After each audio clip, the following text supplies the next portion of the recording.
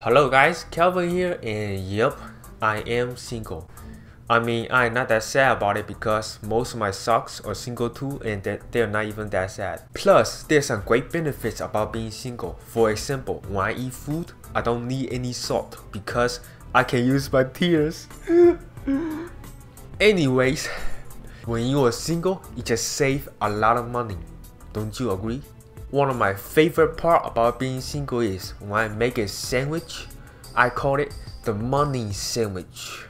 Yup, people call me the dollar heir. On a serious note, I think one of the main reasons I am single is because I am a twin. All the girls in high school and college get us confused because we look so much alike. I even asked the college staff to separate us and put us in separate classes and they, they still put us in the exact same classes. Every single class. It's not even the girls that get us confused, the professors get us confused too, because we look so much alike. For example, you see me in the hallway, right? Wait a second, and boom! You see another one. Yep, that's my brother. His name is Jack, and I am Kelvin. And I just got to admit, I just love my brother's name, Jack. Hey Kelvin, can I borrow $50? Jack off, man. I am just gonna be honest. Sometimes I am just not that confident. And when I look at the mirror, I think I am not that handsome too. Don't get me wrong, my mom said that I am a very handsome boy. She said that to me every single day.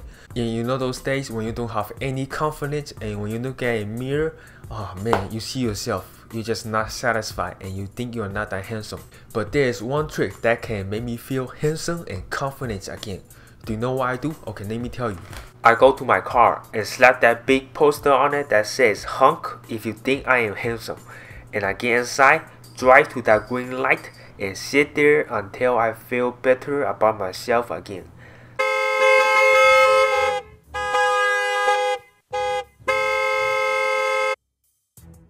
Can you believe that? So many people think I am handsome. It just boosts my confidence way up. With this kind of confidence, I can probably date Ariana Grande. Don't believe me? Watch. Hey Ariana Grande, if I could rearrange the alphabet, I would put you and I together and she be like Kelvin. That's okay because N and O are already together.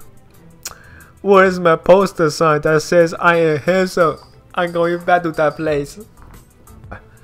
So you might be asking, what kind of girls am I looking for? Well, I'm gonna give you a very, very simple answer, okay?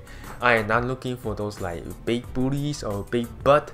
I'm just looking for a girl that have like awesome personality and then one look into her eyes. She can melt my heart. That's the girl that I'm looking for. Yep. Yep. Yep, this is the end of the video. Hope you can give this video a thumbs up if you liked it and please subscribe to this channel for more updates and I will see you guys in the next video. Peace.